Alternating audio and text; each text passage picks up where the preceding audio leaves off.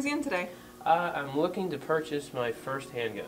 All right. So, do you have any experience with firearms at all? Um, no, not really. Not uh, not a lot of experience. What are you going to be using the gun for? Do you Uh, well, home I'm- protection? I'm thinking about getting my CCW, but I don't really know what I should get. Okay, Do you have any suggestions? I do. So, is there a certain price point that you're trying to stay around or stay under? Uh, I'd like to stay somewhere between uh, three hundred to five hundred dollars. Okay, that's a really good price point. You could definitely get a really good gun for that. Awesome. So I think a good place to start might be a nice subcompact Glock, since your price point is there. Okay. So this is the Glock 43, and it's really nice to carry. You'll be able to conceal it really well. And then you could still use it for home protection and fun with target practice as well for this one. I will take this one. Awesome, okay. Well, I will get the box and everything all together. In the meantime, I can start you on your background check form. Okay. So in order to fill out the background check, you'll just need a government issued ID with your picture on it and the current address on it. Okay. And this is the 4473 form, so Okay. this is the FBI background check that makes sure that you can legally own a firearm. We do this on every gun that leaves our store. So we're here at Garrett's Guns and Ammo in Ashtabula, Ohio, and we're here to talk about uh, buying a gun for the very first time. So this is Sam. How are you doing, Sam? Great. Uh, so we are going to explain to you guys exactly kind of what uh, goes into the process of buying a gun or you know a handgun. So um, you got to fill out a form, right? Correct. You have So- to fill out a ATF form 4473 and it looks like this. It looks really intimidating because there's a whole bunch of pages, but you can rest assured you don't have to fill out, it's not a lot to fill out. It, it is just the first page really that you fill out. The other stuff is more for us as the dealer to fill out after the fact. So if they had a question on here, what do they do? Do they they ask you, or is there information they can find? We can't really answer too many questions. We don't want to influence you or guide you to put an answer that might not be correct. So if you have any questions on here of what a word means or you know you just don't really know, there are answers in the back to all of the questions on the form that you can read. And and we certainly if you have a question, I mean, we'll we'll try our best to help you, but again, we can't really don't really want to guide you Right. to make an answer. Absolutely. Um, so buying a gun, and I've I've always said this: the buying a gun is a very personal experience. Uh, for me, there's a couple certain factors that go into um, buying a gun. So, uh, you know, number one is going to be what you're using the gun for. If you're using it for target practice, if you're using it for CCW, home defense, there's a lot of different questions you need to ask yourself. And uh, also, uh, the availability. Does do gun shops in your area carry that gun? Can you find it online? Uh, and then probably the last thing, probably one of the most important things, is the price point. Um, can you afford to buy that gun? What what can you afford? Um, are you allowed to carry that gun in your in your area? That, these are the questions, uh, or in your state, I should say. Uh, these are the questions you need to ask yourself. So uh, we have a couple examples up here that could be good first um, purchases for your your first gun, and uh, typically. The first time that someone's going to purchase their gun is more likely going to be for a CCW purpose, correct? Yep. Uh, so when someone buys a handgun, they're going to come in. You know, I just I got my CCW, or I'm going to take my CCW. What gun should I buy? Uh, so we have a couple examples up here uh, that are moderately priced. Uh, you know, you're not going to break the budget with these guns at all. So what do we have uh, over here? Yeah, and so I think too, you don't have to, it's important to know, you don't have to spend hundreds and hundreds of dollars to get a good gun. Right. You, you can be in a budget and still get a pretty good gun for what you need. So first and foremost, we have a Taurus revolver. It's a 38 special.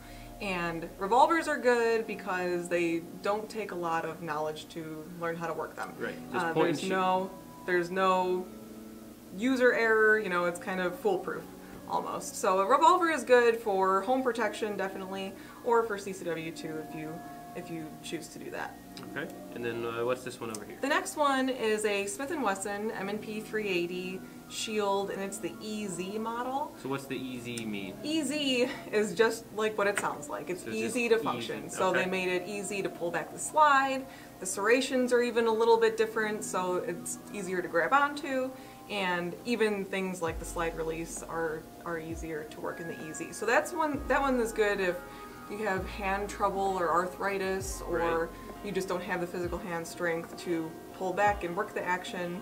Um, you can you can still get a semi-auto. You're not just limited to a revolver at that point. And this last one over here is uh, a fairly popular one nowadays.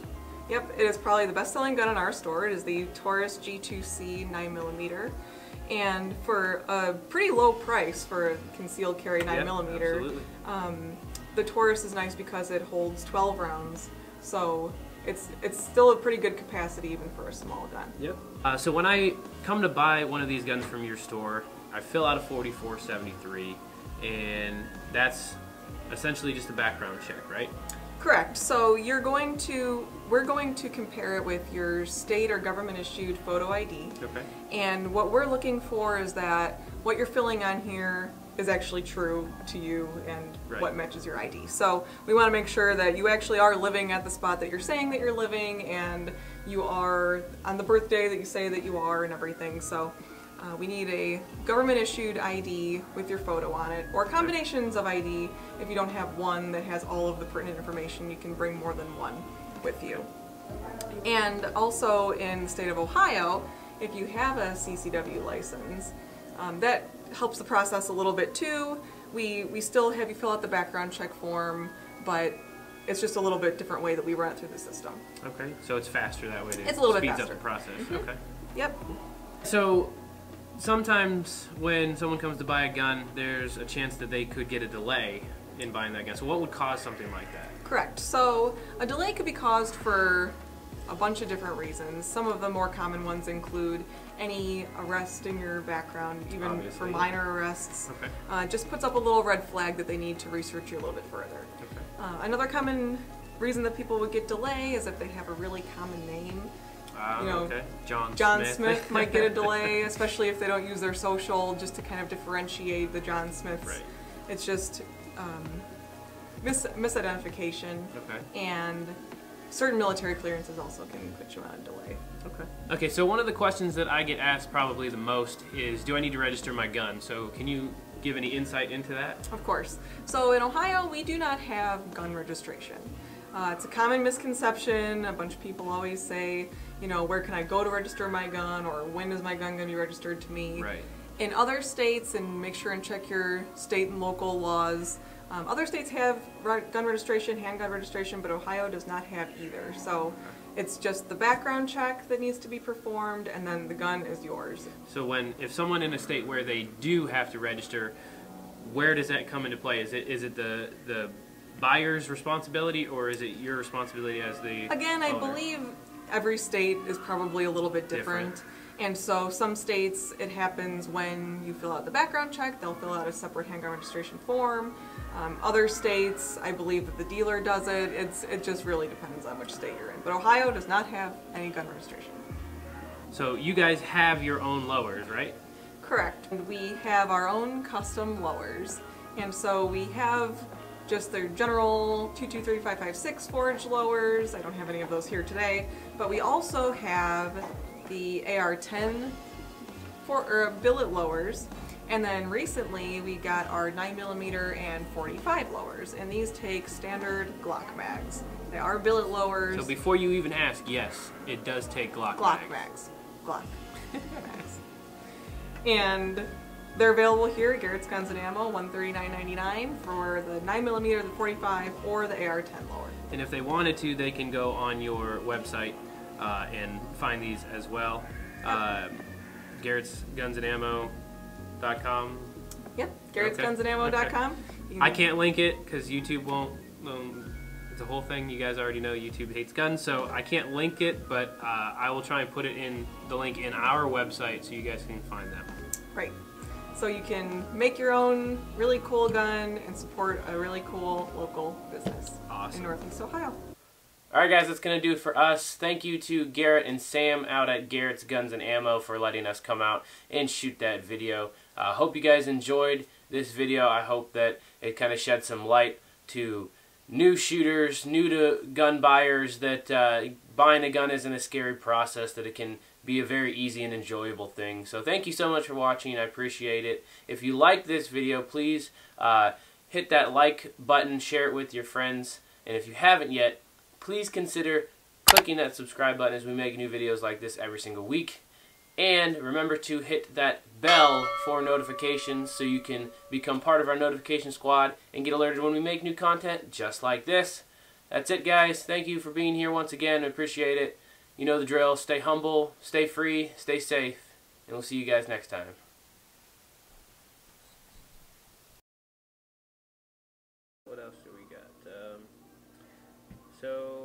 I don't see other on here for my gender. I am leaving.